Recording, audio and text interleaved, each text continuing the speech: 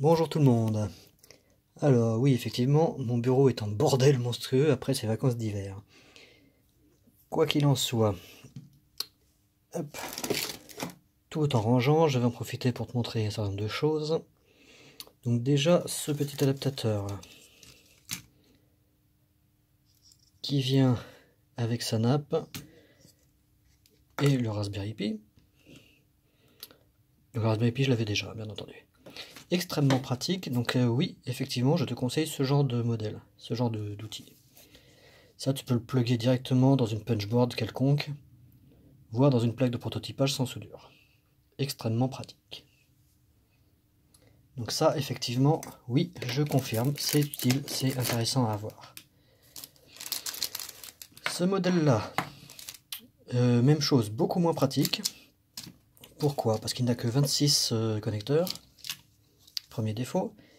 Et deuxième défaut, ce genre de connecteur a un très très gros problème, c'est que des deux côtés, là, il y a du déport. Donc brancher ça sur le Raspberry Pi, c'est impossible.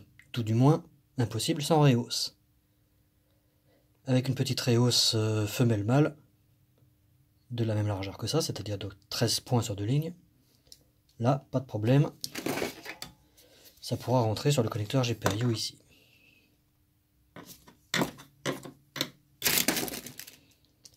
Donc ça, c'est beaucoup moins bien. Beaucoup moins bien, mais parfaitement utilisable quand même avec une petite réhausse. L'avantage, c'est que là encore, comme les packs prototypes que moi j'avais fait personnellement, ça fait moitié CMS et un petit peu traversant.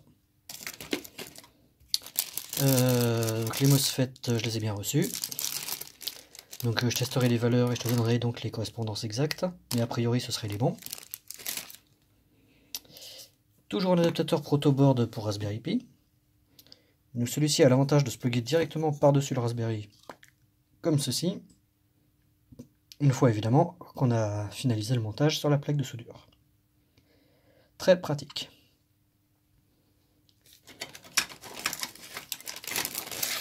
on va parler un petit peu Arduino. Tiens, que s'affiche là, ça j'ai oublié de le jeter. Hop. Et hop. Nous parlons un petit peu Arduino. Cet écran là qui vient se pluguer comme un shield. Avec ici le contact supplémentaire euh, d'interface. Euh, ICSP je crois. L'acronyme complet, ouais. ICSP. On branche un écran standard dessus. Enfin en fait il arrive pré-soudé. Toutes les pattes ici sont la gestion de l'écran. Les pattes ici sont les gestions des boutons.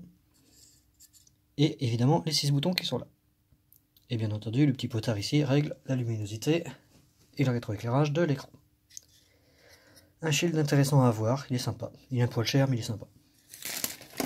Il est pas indispensable du tout. Hein. Note bien. Dans une autre série, ESP32, j'ai pris ceux-ci qui ont l'avantage d'avoir, évidemment, outre le port USB et la programmation Arduino classique, un écran OLED de quelques 4 lignes de caractères, je crois, le module Wi-Fi, il n'a pas le Bluetooth celui-là, je crois. Donc ça, j'en ai pris deux.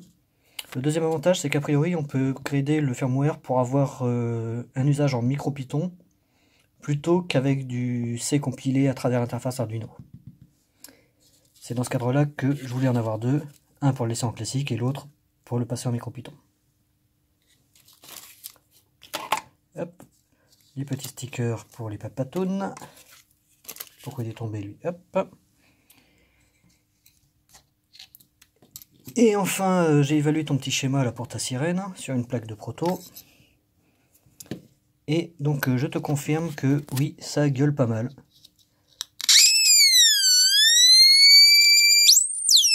En tout cas, c'est très largement suffisant pour saturer le micro et vraiment être super casse-couille. Et donc oui, je confirme, ton schéma fonctionne parfaitement. Et oui, c'est une très bonne solution d'utiliser euh, du NE555. Euh, bon, là, j'ai mis un NE556, mais c'est la même chose que deux NE555, bien entendu. Et je confirme que ton schéma d'origine, il est bon, il fonctionne. Hein, moi, je l'ai testé vite fait comme ça, là, mais... Euh, J'espère que tu feras quelque chose de beaucoup plus propre. hein. Moi j'ai fait ça en mode proto sur une plaque qui a déjà servi et qui servira encore. Mais dans tous les cas, ça fonctionne. Et enfin, le petit thermomètre de base euh, dont on avait parlé la dernière fois, je confirme, il est une fois étalonné avec le petit potard qui est à l'arrière, enfin faut ouvrir le boîtier, euh, il marche très bien. Donc là aussi, pas de surprise. Voilà, c'est tout ce que j'avais à te dire aujourd'hui. À bientôt. Ciao